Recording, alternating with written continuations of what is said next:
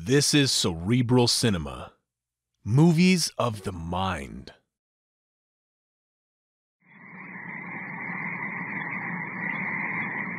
Hey, Jack, what you done with Sonny? Well, she's up on the plane trying to make Hermie comfortable for the night. Little chap's pretty well tuckered out. Ain't we all after spending last night trying to sleep on a stone bench? Quite, with vampires roosting about. Well, uh, we accomplished a good day's work, even with eyes watching us from the jungle every minute. Funny thing, them watching us all day, not making a move. Well, it might be different tonight. I wouldn't be surprised. Seems like vampires in the dark are made for one another. We should be safe enough in the plane with one of us on guard. As long as we're armed and keep our wits about us. You know something, Reggie? I ain't shot me a wild Indian a heck of a while. I doubt very much if these are Indians. Priest of the temple, maybe. Most likely. But who are these priests of the temple? Sounds like they was on the Spanish side to listen to them. Bound to be with all that sea and senorita and senior business. Well, there's no telling. They talk as though they've been here for centuries. Well, bound to have been. All that business about vampire worship being the native Indians' religion. You don't establish a religion overnight. Well, at least not one that'll permit uh, human sacrifice. Are you two trying to sell me on the idea that these same folks have been here for centuries? Manuel and that little she vampire Angelina? Well, according to all the best authorities, the vampire is ageless. You know? Well, Angelina didn't sound to me like no three, four hundred year old female. Well, matter of fact, she's not. Yeah, how would you know about that? I don't know it, but I know it isn't reasonable. There isn't, and never was such a thing as a true vampire outside of some author's imagination. But what about all this stuff we've been running into? Well, undoubtedly, there's been some kind of a synthetic vampire worship set up down here. All the mystery and trappings that go with it, even uh, human sacrifice. But Manuel and Angelina are human beings. Then what about Angelina's red lips and sharp white teeth? Well, most Latin girls do have red lips, and uh, naturally her teeth would flash white against her dark skin. Uh-huh. And how do they float from ledge to ledge up yonder in the temple? I don't know. Well, Angelina's sure enough mighty anxious to get her hands on Hermie. And Manuel is just as interested in Sonny. It wouldn't take a vampire to find Sonny attractive. Now, that there was the most astute observation of the day, fella. There's plenty of he-men could go for Sonny, and I don't have to spit over my chin to hear what I'm... And more truth than poetry in that observation. One thing, though. Don't you think we ought to warn Sonny and Hermie about us being watched from the jungle? No. I hope they might wander off a little piece without thinking anything about it. Well, I've warned them to stay close to the plane. I agree with Jack, Doc. No use worrying Sonny any more than's necessary. Uh-huh. Oh, I don't mind telling you, it feels good to lay in the back, even on the ground. Still pretty much on the muggy side, though, and the sun's been gone a couple of hours. Breeze will maybe come up off the lake pretty soon. Well, that's just plain optimism. maybe. Oh, oh. Will you be looking at the stars up in that sky? Hmm. How many million do you suppose there is? Who cares? Quite. Where's your romance, son? It Takes more than a star to flutter Jack's heart. Don't you know that by this time, Doc? Takes more than a woman, even. You're just plain soured on the female sex the way I figure you, Jack. Oh, I can take 'em or leave 'em. I know that. A woman must have sure done you dirt somewhere in your life. That's going to be enough of that. Talking out of turn. No, forget. I still owe you a bust on the jaw for what you did to me last night. What's that got to do with it, son? Well, this would be as good as time as any. Now, is that nice? And change the subject. Okay, okay. Are we going to draw straws to see how to divide up the watch tonight? Well, if you like. Oh, Jack, Yeah. somebody give me a hand down. I'm your man, Sonny. There, all right. Throw it down. You won't miss me in the dark. It'll never be dark enough for that. All right. I got you. Thanks. Want to sit a while? Yes, Oh, I thought we'd uh, turn in with Hermie. it's positively suffocating in that plane. I don't know how the poor little kid's going to get any sleep. Well, we're all in the same fix. We couldn't bring some blankets down and sleep out here under the plane. No, not a chance. It it really is that dangerous? Yes. How how long do you think we will have to be here? Week probably, yeah. How about it, Reggie? Well, maybe not as long as that. Now that we've got the plane jacked up and I've had a chance to look at the undercarriage. It isn't as bad as you thought. Now, good luck was riding with us. And how how about the gasoline? No, it's, it's water all right. I tested some of it this afternoon. That's going to be a nice job. Filtering 200 gallons of gas through a shanty. Well, it's, it's got to be done. Tomorrow I've got to hunt out a big flat rock I can use for an anvil. We've got a couple of twisted rods, and I'm going to have to beat them back into shape again. Well, down along the lakeshore, we should find something. No, quite. I'll find something. The cigarette, Sonny? I was wondering if I was going to be left out. You three enjoying your pipe? Well, help yourself and ask for what you want. Thanks. Light? That's better. Notice how many bats there are flying around? They're not liable to get in my hair, are they? No. You know something, Jack? What's that? If it wasn't for Sonny and Hermie, I wouldn't mind sticking around here for a little. What are you trying to do? Make me feel in the way? Now then, sugar, don't be so touchy. Yeah. I just meant that you and Hermie are up against something down here you can't lick. Jack and Reggie and I give as good as we get.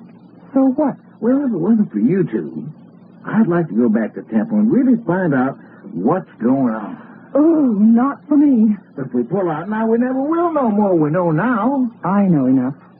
Just doesn't seem like us to pull out of anything before we got our curiosity satisfied. Well, then, for goodness sakes, go back. Don't let me stop you. Hey, honey, you don't need to take it that way. Well, if I'm cramping your style. Forget it, Sonny. Well, gosh, anyway, I tried to be a good guy. And you have, too. I, I didn't mean that. And just that, that girls were made for stuff like this. I wish I hadn't come. Hey, you folks down there. Honey, I thought you were asleep. It's too hot. Can I come down there? No, honey. You've got to get some sleep. I'm coming up in the plane, too. You'll smother. Well, then we'll just smother.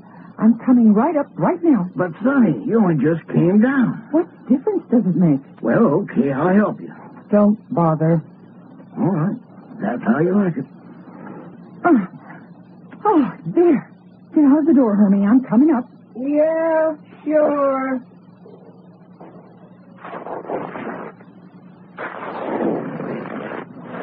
Oh, oh, darn. Hey, you tore something. Get out of the way, Hermie. Give you a hand?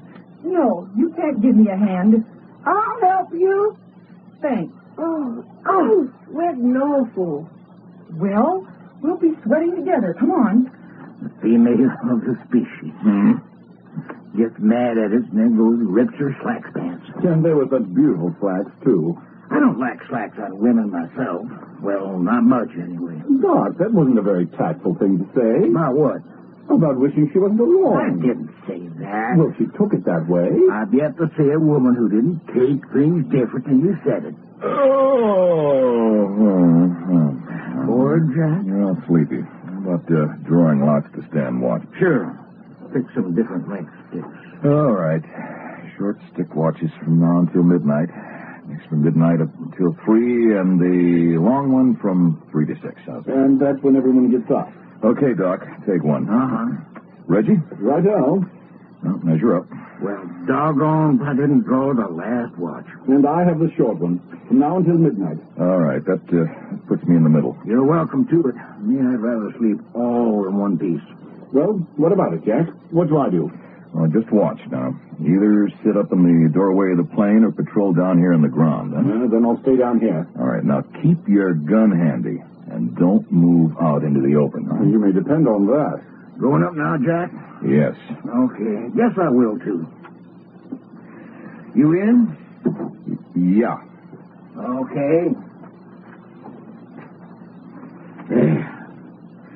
Hooray, talk about your Turkish bath. All right. Pipe down. Yeah. Which side of the floor do you want? I'm putting my blanket right here. Okay, good thing we could take these seats out and give us some room. Yeah. Ah. There'll be all...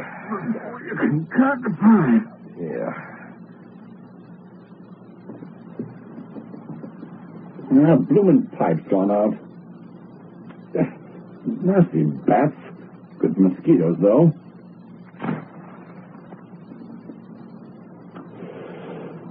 Ah, better. Reggie, Hello, is that you, Sonny? it's just too darn hot inside. Doc and Jack asleep? I don't know. They act like it. I don't know whether you should be sitting in that doorway or not. Please, my slacks are sticking to me like wet bathing suits. Not much cooler out here. Well, at least I can breathe. Hurt yourself when you slipped getting into the plane? No, just tore the leg of my slacks. Situation like this, good idea for everyone to keep his temper. I know it, but darn Doc Long anyway. Mm, Quiet. I see your point. Don't you suppose I know I'm in the way and I hate it? No, I wouldn't say that. Crabbing about eating tomatoes out of a tin, making a fuss about going up those steps in the temple, and just being plain female, like Doc said. Darn it all. I don't think sex has much to do with it. You don't? As I see it, you're not toughened up to it. Now put a white-collar man from behind a desk down here, and his reactions would be just about the same as yours. Reggie, you're wonderful. I am. I was beginning to get an awful complex about being a girl. Were you really? if I had a gun, maybe I could give as good as I have got too. You never shot one? Nope. then I wouldn't advise it. But all you have to do is pull the trigger. Was that all? Are you standing right below me? Yes. Why? It must be getting darker. I can't see you. I moved into the shadow of the plane. Oh. Could you teach me how to shoot? In time. But we'll be out of here before you really get the hang of it. Well, that's the first thing I'm going to do when I get back home. Go to a shooting range and take lessons. What's the matter? Don't you think I could learn? Reggie? Reggie? Where are you? Oh, is that you? Why didn't you? What are you doing? Let go of me! Help! Jack! Help,